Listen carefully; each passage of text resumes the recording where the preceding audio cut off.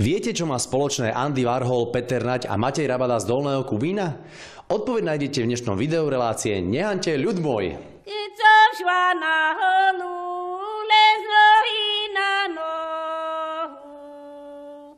Keď som šla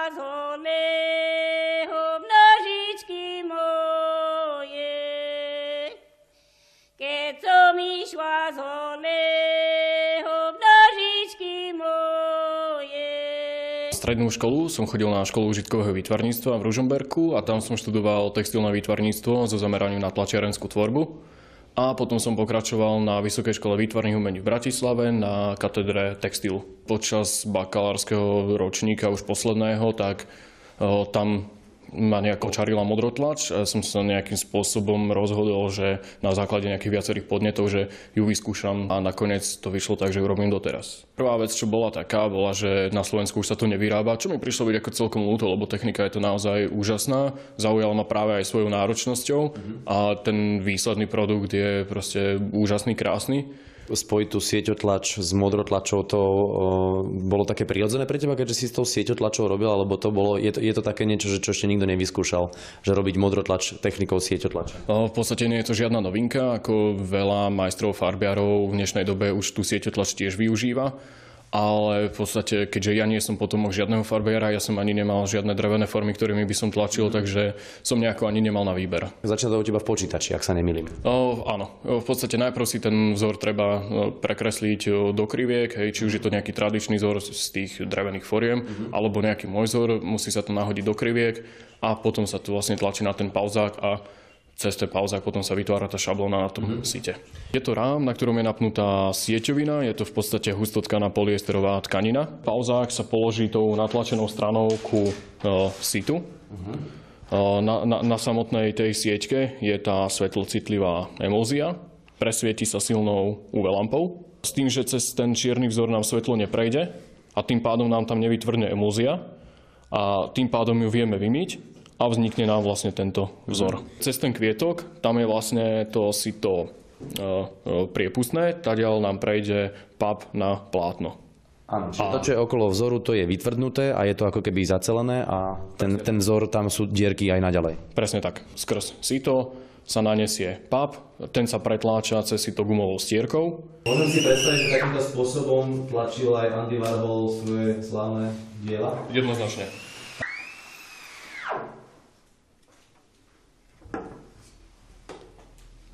Po nanesení rezervy toho papu e, sa necháva niekoľko dní vyzrieť, aby teda zreagovali chemikálie s vláknom a nasleduje samotné farbenie v roztoku indiga.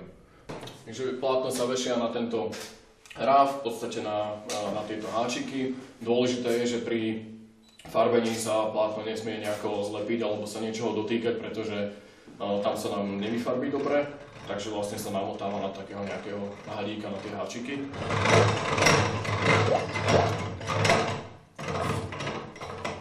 No a čakáme 5 minút. Bolo to naškrobené to plátno? Uh, plátno bolo naškrobené uh, vopred, vlastne preto, sa, uh, preto neplávalo na povrchu, ale pekne sa vlastne zapichlo do tej nádrže.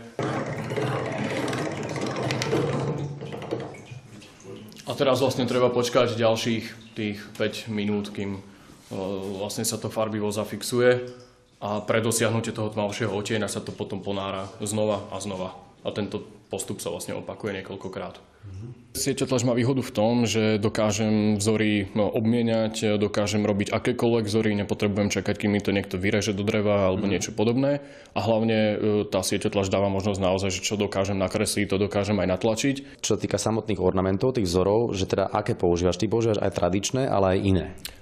Používam tradičné, po nich je aj celkom dobrý dopyt, hej. Mm. takže aj ku modrotlači to platí, ale zase bolo by smutné ostať len pri kopírovaní nejakých vzorov z minulosti a nejaké vzory si teda navrhujem aj sám.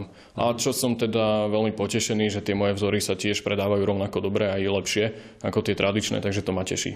A to je čisto záležitosť tvojej fantázie? Presne tak. To je vlastne e, vzor, akože motív kriváň, kde samotný kriváň bol graficky spracovaný, bol viacnásobne vedľa seba usporiadaný, aby teda nebolo hneď na prvý pohľad jasné, že o čo sa jedná.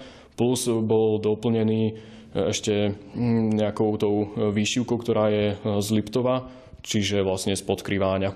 Tuto vo vode sa nám začína pomaly objavovať vzor, ale tá rezerva sa najlepšie vynie práve v tej samotnej kyseline.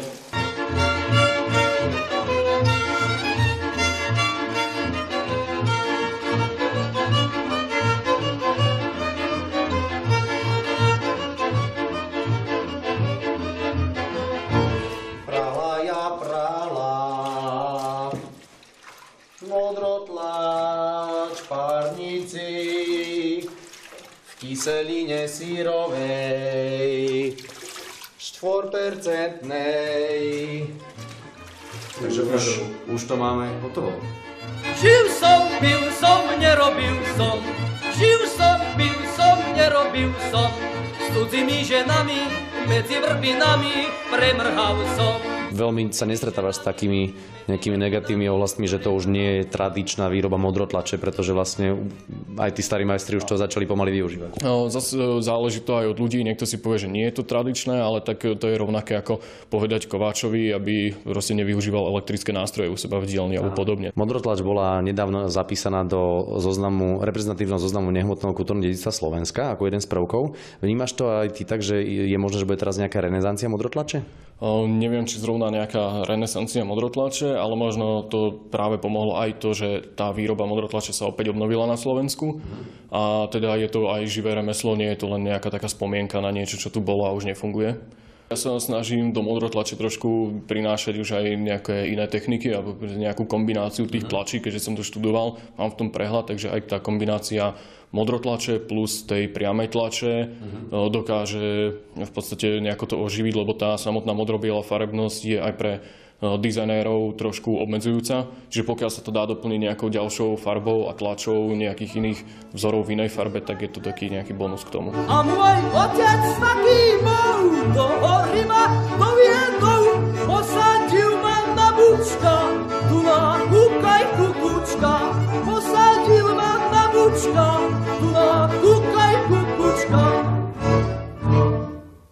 Nehante ľud môj a nehante Ladislava Fabša z Budatina, ktorý vám na počkanie odrôtuje rozbitý riad, vydrôtuje takúto podložku pod žehličku alebo aj pascu na myši. Ja som drotár od Žiliny, obec rovné dzedzina. Chleba masa málo máme, pritom mnoho roboty.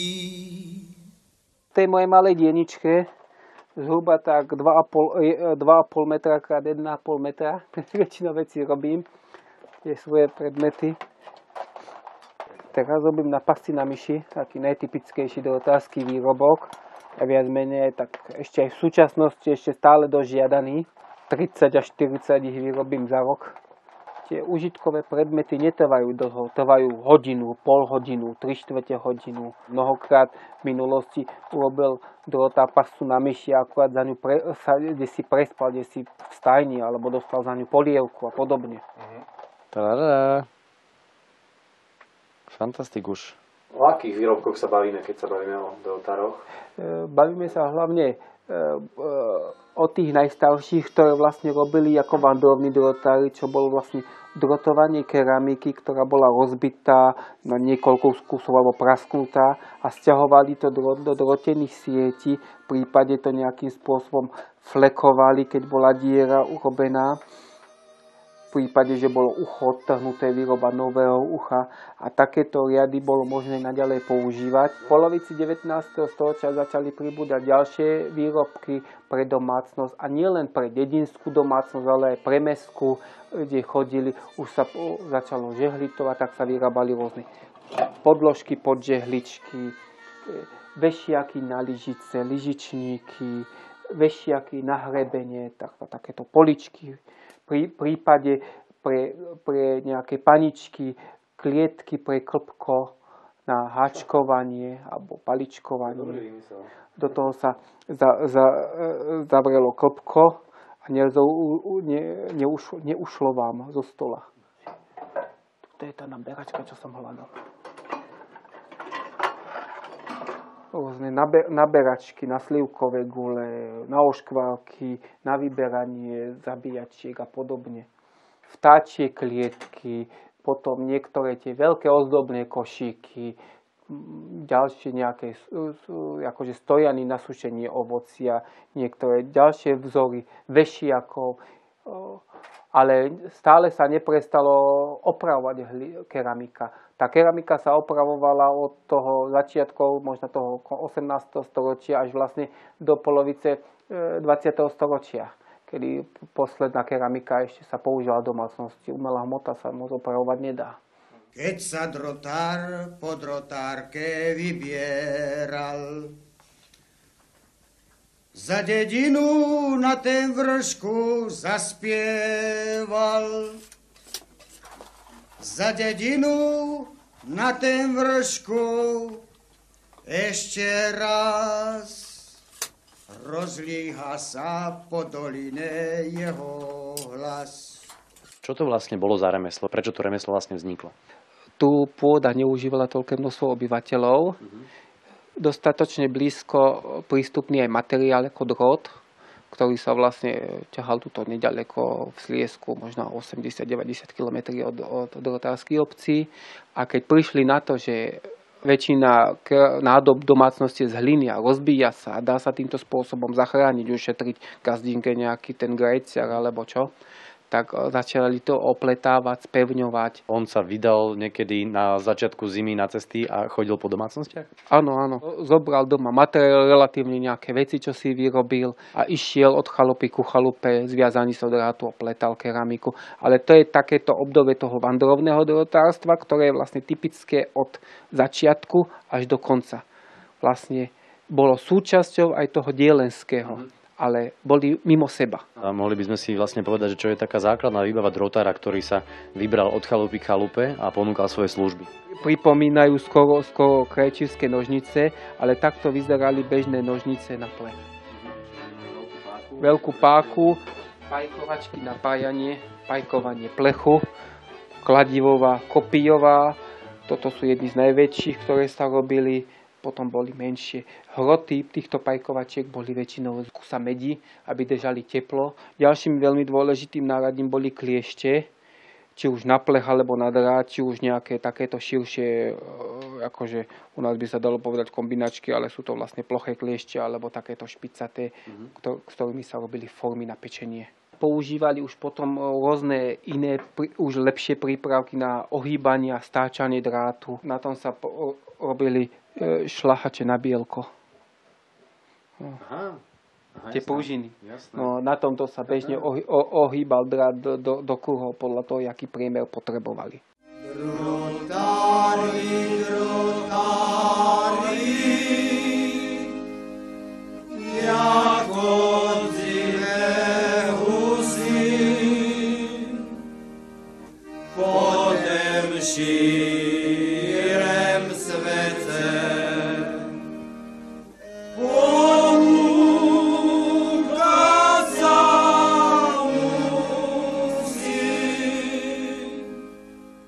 Začalo to v období, keď som ja mal 15 rokov a začal som chodiť do učňovky, do strojárskej, za nástrojára som sa učil a e, vo voľnom čase som začal opletať keramiku podľa starého vzoru, ktorý som našiel v rovnom.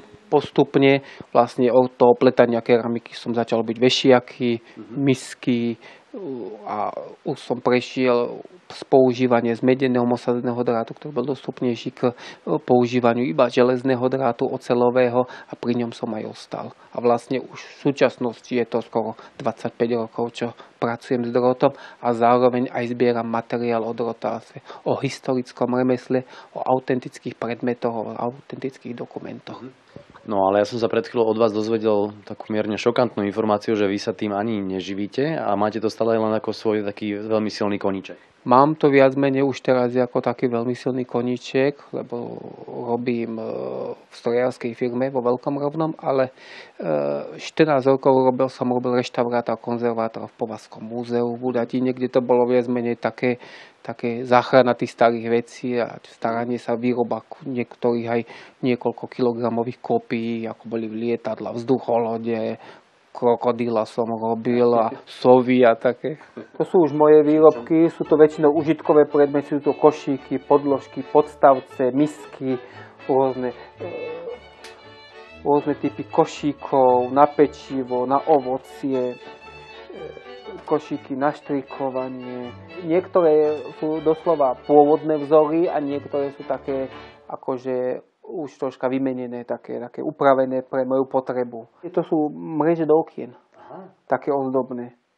Toto je taká ozdoba viac na stenu, ale, ale toto, tieto, tieto, tieto tri sú ozdobné, sú z 5 mm hrubého drátu robené. Ja som známy tým, že opletám keramické taniere, hlavne keramické. Mám ich asi 70, Nie, neviem dokopy. A vlastne okrem toho, že tie vzory vychádzajú z pôvodnej techniky, sú prispôsobené niektorým tým novým vzorom a niektorým novým spôsobom zapletania, pretože sú podstatne pracnejšie. Stane sa, že aj dnes za vami niekto príde, že sa mi rozbila... Každú chvíľu.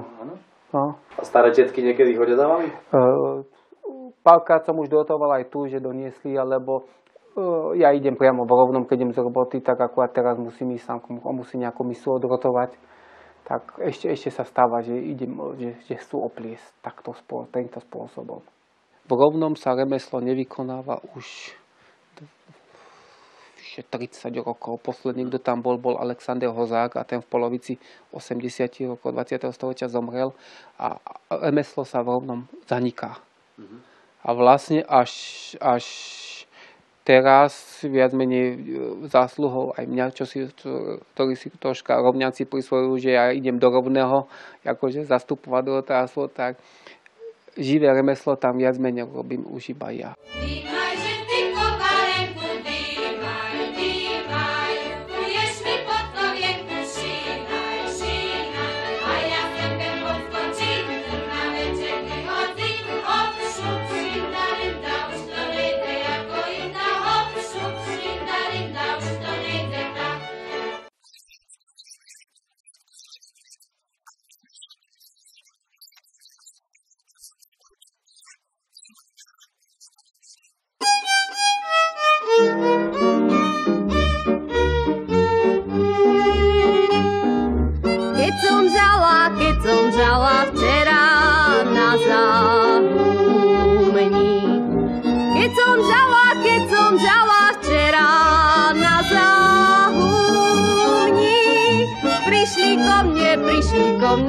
mne tria mladenci švárni. No ja som sa učila vlastne za kožušničku. No a doma sme mali tento kožušok, ako starý otec, mali ho odložený. No a potom mi ho darovali, keď som skončila školu, že aby som podľa neho robila. Toto je môj prvý kožuch, to, na tom som sa vlastne učila. Ten som robila podľa tohto starého len to ja som sa nemala s kým ani poradiť, nič, tak som si zvolila zlý materiál, tak sa mi trhá. A je to ani nie je to koža, je to koženka, to som len tak použila na to, aby som sa to, vlastne učila som sa, no to je, hovorím prvý kožu.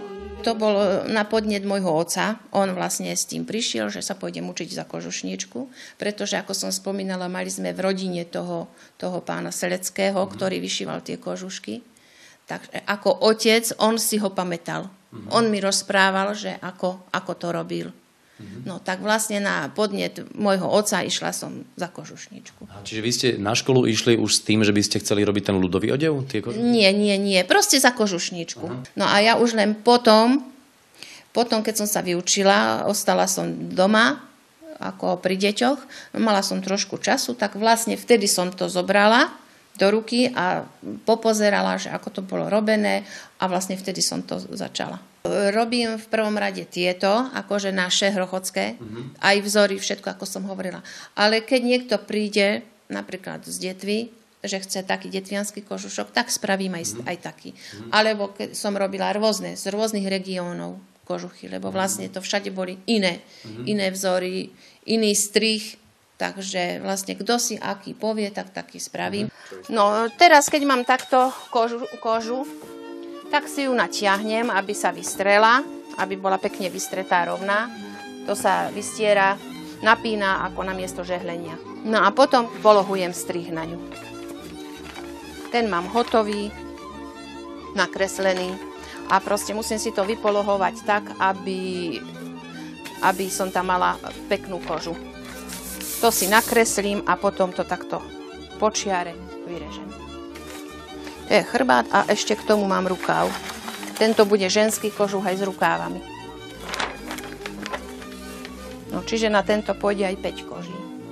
No a keď to mám vyrezané, teraz tieto diely, tak budem na to prišívať zase z takejto tenkej koži.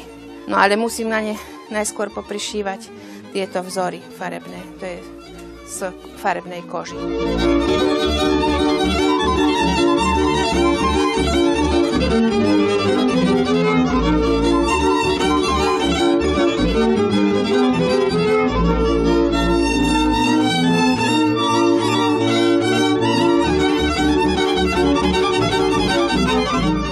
Tieto lístky tu a teraz ich robím.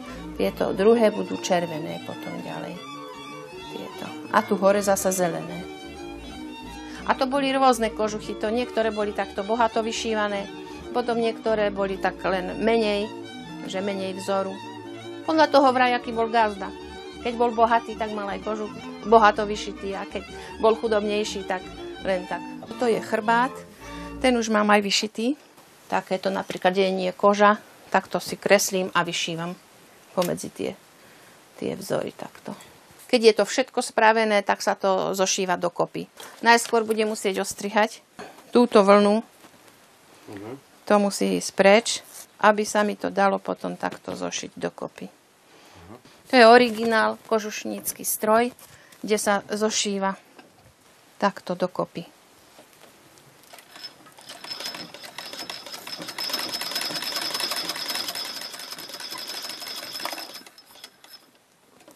No a takto. To remeslo, kožušníctvo, to sa kedy si volalo takým iným slovom. Ako, ako to bolo? Ako sa to volalo? No, kedy sa to volalo aj kušnieri. Kušnieri, ale to bolo uh, oproti, dajme tomu, tomu modernému remeslu, čo ste vy vlastne študovali na škole, akože v inštitúcii, tak tí kušnieri, oni si vyrábali ako keby všetko od A po Z úplne sami. Áno, áno, to bolo také, že si aj tu tie kože doma vyrobili, aj farbili si kože uh-huh. tým takými prírodnými, napríklad z chorocha, uh-huh. to, to bola huba na strome narastená, z toho používali farbivo, alebo z medenky, zelenú farbu, boli také medené ako piliny a nejakým spôsobom si to tak zafarbili. Sú teplé tie kožuchy? No tak určite. a hovorí sa, že kožuch e, v zime hreje a v lete chladí. To sa nosilo aj v lete, nebodaj?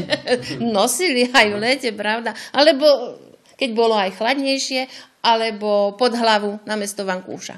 Aha slúžil kožušok. Ako aj doma, alebo na salašoch iba? Aj doma, aj na salaši. Aha. No, chytil kožušok, zložil e, vlnou na vrch, hodil pod hlavu a už bolo. Vy okrem kožuchov a kožuškov robíte ešte aj iné veci. Tak aké? No tak e, venujem sa ešte tomuto vyšívaniu. To je krivo výhlov, pretože to je tiež typické pre hrochoť. Mm-hmm. Sa veľa vyšívalo. Vlastne celé kroje ženské tie kytle a to sa všetko robilo na ráme. Krivá ihla to je vlastne taký háčik a musí to byť také ostré a tým vlastne sa pichá do toho. Toto je konkrétne zamat, to je na zamate. No a robím podľa vankúšika, to je vlastne tento vankúš starý a podľa neho vyšívam. Skúste nám povedať, že ako to že vy máte teraz, toto je vzor, ten starý vankúš, približne 40 ročný, no a ako, ako začnete, že vlastne, ako prenesiete tie vzory na to nové plátno, to je zamat vlastne? No tak najskôr si na priesvitný papier odkreslím napríklad tieto, tento, tohto vtáčika. No a potom z toho priesvitného papiera si to prenesiem na hrubý papier, na tento kartón taký, no a vystrihnem ho a potom si ho priložím na zamat a obkreslím bielou ceruskou dookola. No. A vyzerá to takto. No a teraz to rečiaskou pekne dookola povyšívam. A toto technikou vy ešte robíte aj ďalšie veci? Tam vidím také nejaké... No už čo sú to obrúsky? robím také drobnosti. Také. Čo sú to? Ako sa to... To sú také obrúsky vyšívané tiež. A to si už aj vymýšľam, tie kvietky uh-huh. také, čo sa mi páči. Uh-huh.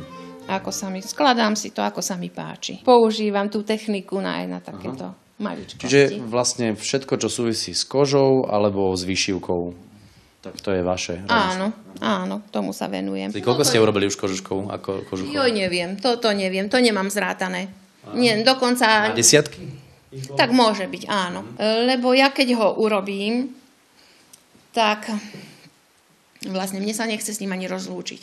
Mne sa ho nechce, lebo to také je, ja neviem, to, tam, tam človek ako keby kus zo seba dal do toho. Keď ste hovorili, že rok ho robíte No, s prestávkami, tak, možno, že tak, nie v kuse, tak. To je- tak to si aj vytvorí človek vzťah k nemu. Tak, to je nie také, že by som to robila, že teraz musím to rýchlo spraviť, predať a hotovo. Mm-mm. Nie je to akože zárobková činnosť a, a predsa to robím.